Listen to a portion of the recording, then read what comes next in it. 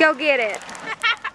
Sadie, Go get it. stop it. My feet are like drenched.